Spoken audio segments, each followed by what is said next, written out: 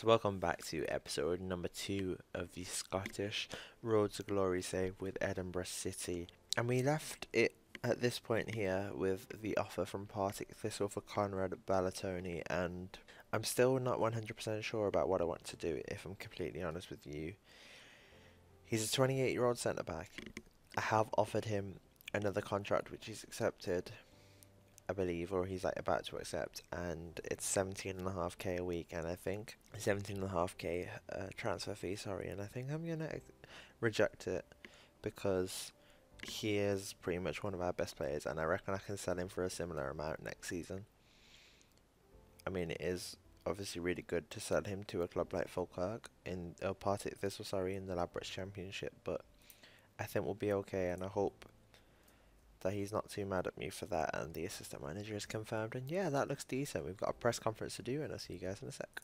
So here we go. The first game of the season is against Motherwell. We are like complete outsiders here. I want to see if we've got is there a season preview? No there's not any form of season preview but when we look at group H we've got Airdrie who are in the Ladbrokes League 1 we have Dunfermline in the Championship. We have Motherwell in the Premiership and Stranraer in League One. So we are by far and away predicted to come last, pretty much, in this group. And we do have a left winger now that we can actually play Ismail Ben Awubi. And look at that. That makes our team look a lot better. There's not really any greens on the pitch now. So here we go. This is the team that we're going to be going with for the first game of the season. It's a very very risky team, I think. I might play Ryan Adamson actually, with that bit of potential. Just seems a bit more useful than Craig Antell, maybe? Callum Antell, there we go. And yeah, it's quite a simple tactic, I guess. Not really too much to it. And we're just to hope it will get the job done. I do think we do want to buy uh, an Anchorman, another sort of CDM. I have scouted a few more, and hopefully some of them will be decent. But yeah, we just don't really have anyone better than Andy Black right now, which is a shame because he's not the best. He does have a good potential. So I hope he will be able to improve. But let's get into this game. It will be a tough one. And let's hope for the best. Something which I didn't actually really think to have a look at was how low on energy some of our players are. And oh my god, we just hit the post there with Harris. I'm not sure of his first name. I was going to try to say it, but yeah, I don't know his first name, but yeah, quite a few of our players are actually really low on energy. Uh, like some of them, I'm talking down at around 80% at the start of the match. You can see Liam Brown here is already at 71%. Some nice play from us, and then just a bit of hoofball for some reason. But up until then, it was nice play. We've won the ball back here. Benoubi out to Crane. Into Sinclair. I didn't actually remember us having someone called Sinclair, so that's interesting. Thompson back out to. Say what that would be a name for Scottish people to try and pronounce. I wonder how they'd say it. It's a ball in, unlucky. Clearance though. Oh, he's gone past two players here, Long has. And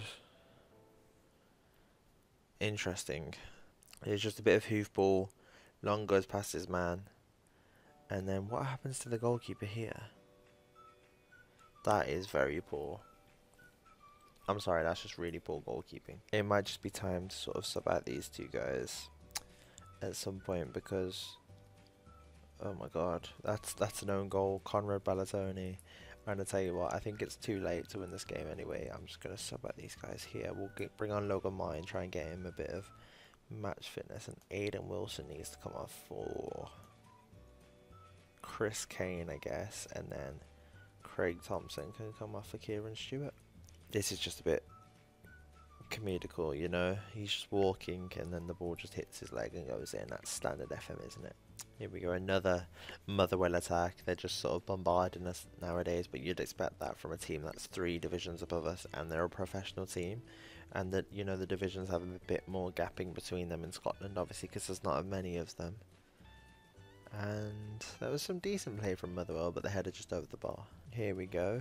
We've got an opportunity here. It's a decent ball in, but they've managed to clear it away, and they're going to have a counter attack here. It looks like. Who is this? Devante Cole shot block. Oh my god, what a tackle from number four there. That's a great ball. That's such a good ball in from Carroll, and Devante Cole is there, and as we sort of suspected here, we are getting thrashed. Damn, they did not like that. It says, tell the boys the efforts were, effort, were excellent, and I said we were the underdogs and you gave it your best. They did not like that at all. And look at that, that's our record attendance with 1,128. So here we go, Jane Jamie McKernan even. Yeah, he's not great, but do I want him as a backup is the question. Who is my backup at that position? It's some it's this dude that can play right back and everything. And I tell you what, yeah, I don't think there's any point really. So we found two that seem interesting. We've got this guy here, Connor Duthie, who looks really good actually, and I thought he was a centre mid, that's why I clicked on him, but he's not, so I'll leave him alone. Might add him to the shortlist. And where is he? Here he is, Scott Robertson. He's an attacking midfielder. He'd be useful to have there as a central midfielder attack backup, and let's see if they will accept.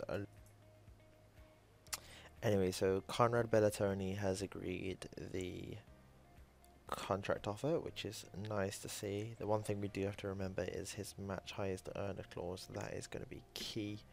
We need to offer him a new contract before we offer someone else more than £400 a week. And then finally, I believe we have these games coming up. I think I'm going to play the uh, play up to I'll play up to here yeah, I'll play this game on camera. quickly play this one off camera though. Um, and yeah, then we'll come back for this game here. So yeah, see you guys in a sec. So we finally got something that I'm very happy to show. And that is, if we look at the inbox, we have a few scouts. This one here was actually blocked, which I was really annoyed at because I accidentally selected him as a reserves coach, not a normal coach. But if we look at the staff, we can see we have two coaches. We look at all this, the highest in the league. The fitness coaching isn't the best, and the defending coaching is terrible. But apart from that, it's really good. We've got really good judging ability. Uh, we don't actually have a physio at all, which we do need to get at some point, but yeah, I'm just happy that we have all this good stats over here and all these here too. Um, I think there is something here, yeah, coaching, we can have a look here. Obviously these ones are increased a lot by my value, but yeah, we've got the assistant man manager, Nick Magashi, who has some decent values, not the best obviously, Anti Collett, who has really good goalkeeping attributes, such good goalkeeping attributes, and then Colin Jack, who's you know not the best. He's a bit of a overall scout. I think he was already here when we started, but yeah, he's just an overall coach, and obviously we'll be able to replace him at some point. Try and get maybe a defensive coach in his place. But yeah, then we've got a fitness coach coming in, so that will bump up, which will be nice to see.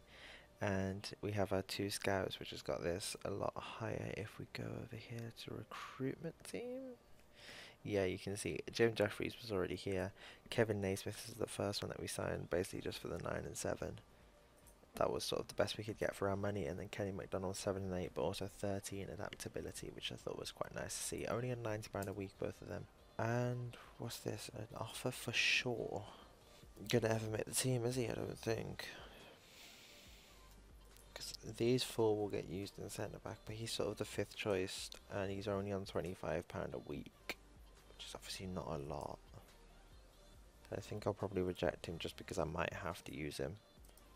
And they're not giving us any money for him. But anyway, the game against Stranraer, you wanted to know how it went on against Airdrie. We drew 1-1 and lost on penalties. I thought we were going to win, you know, after two penalties, but we didn't score another penalty, which was not nice to see We started a few different players in that game so that we can have some energy for this one here against Stranraer because I think if we're going to win any game this season it should be this one against Stranraer.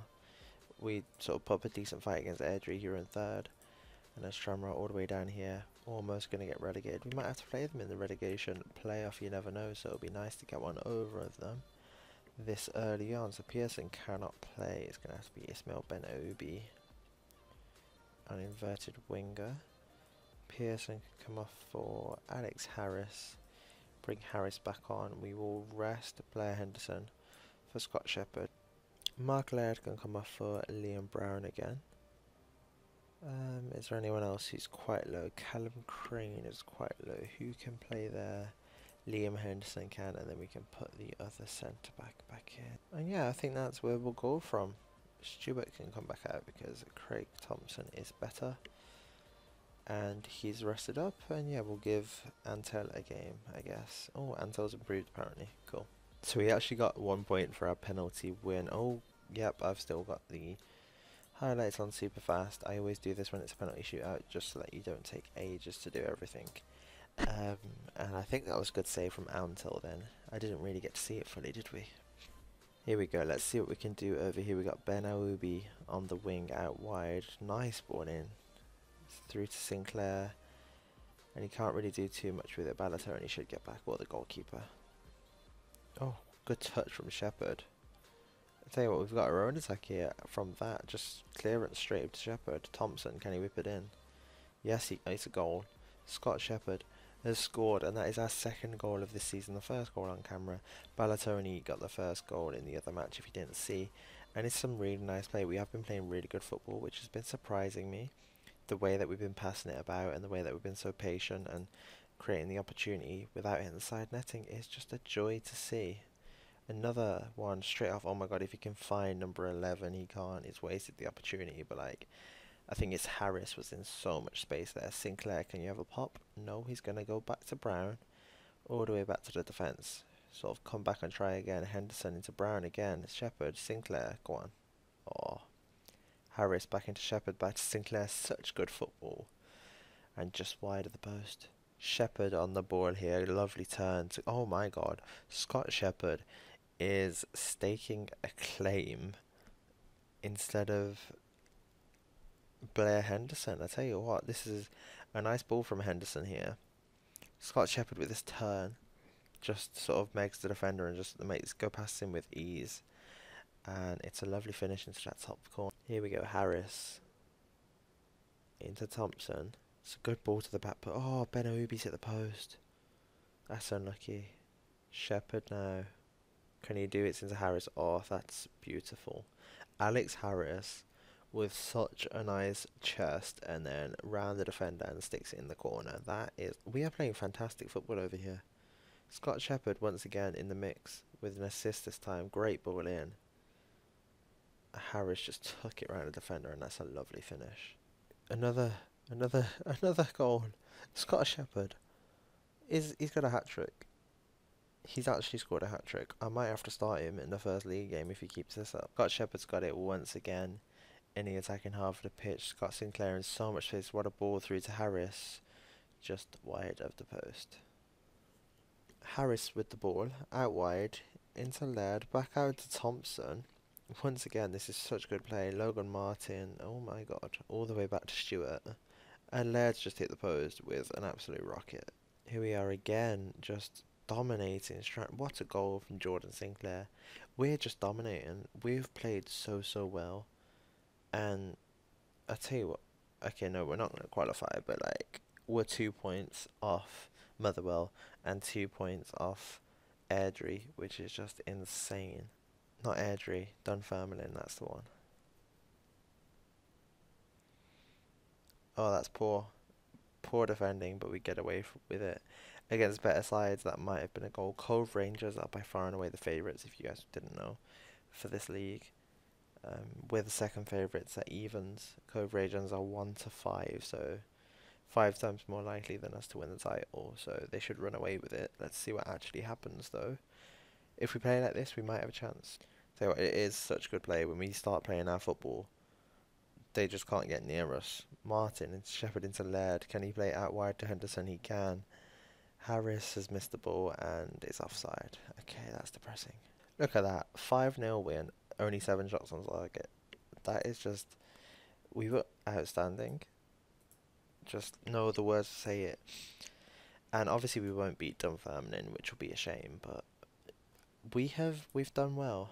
The objective was to be competitive, and I hope yeah, they are pleased. So I was gonna say surely they can be happy with that because we played so well, just so so well.